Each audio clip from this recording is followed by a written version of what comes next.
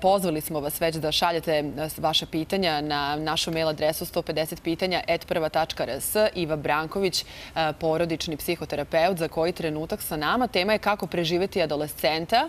Upravo ovim danas se bavio naš Slobodan Cagić da čujemo do kojih je saznanja došao. Slobodane. Pa, drugari, pošto ja upravo imam iskustvo tinejdžera u sobstvenom domu, odlučio sam da stanem ovde u hladovinu i da budem prvi učesnik naše današnje ankete.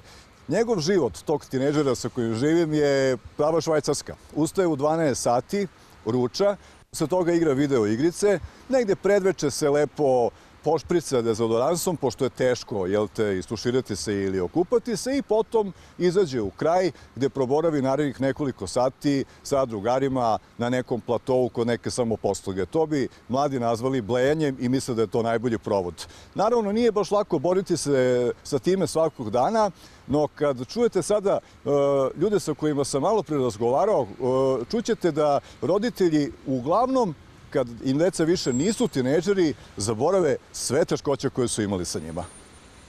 Meni nije bilo teško. Bogu hvala, gde su mi dobro. Pa nije bilo loše. Moja deca su dobro i bilo je zabavno. Bilo je okej okay, sve u svemu.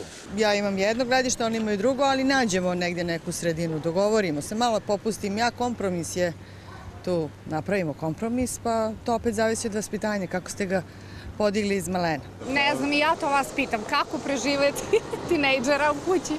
Ne znam, stvarno. Pa kakve muke imate sa... Svakakve. Svakakve. Od, od onih nemoj da smaraš, pusti me, ne ulazim u sobu i tako svašta nešto.